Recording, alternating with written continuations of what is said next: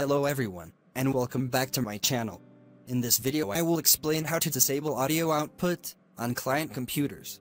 We're actually preventing domain users from hearing anything on the computer by disabling the audio output.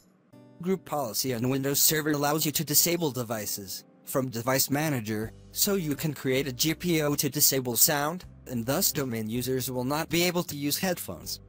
By default, the domain user can control the sound output by increasing or decreasing the volume, and if you open the Device Manager window, you will find that the device responsible for the sound is listed and working in the Device Manager.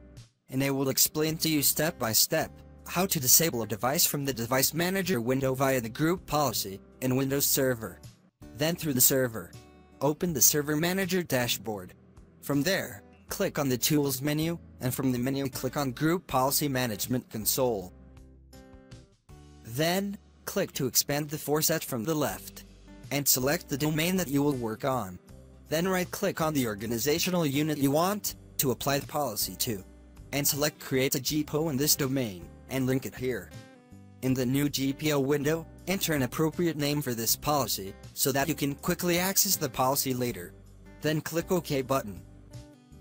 Then right-click on the GPO that was just created, and select Edit. This will open the Group Policy Management Editor window. On the left side click to expand the policies, under Computer Configuration. Then click to expand Administrative Templates, and under it click to expand the System folder. Then expand the Device Installation folder, and select Device Installation Restrictions, then move to the other side, for the policies available for device installation restrictions. Then double-click on the policy called Prevent Installation of devices that match any of these device IDs. Select the option Enable this policy. But you will need the device IDs, so that you can add it to this list. To find the device IDs, open the client computers again, and I will explain to you how to find the device IDs. From Device Manager, right-click on the device whose IDs you want to find out, and click on Properties. Then click on the Details tab, and under Property, click on the drop-down menu, and select Hardware IDs. And then you will find the device IDs at the bottom.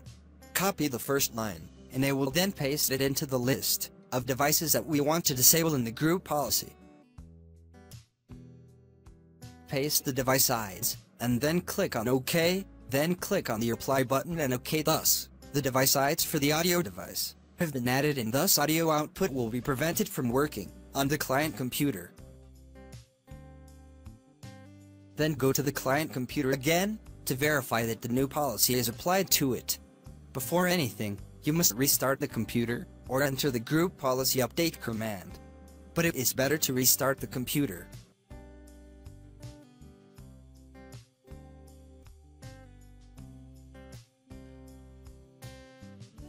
Now if you click on the audio icon, on the taskbar, it will show you no audio output devices installed, meaning that the audio output has actually been disabled, by disabling the device from Device Manager.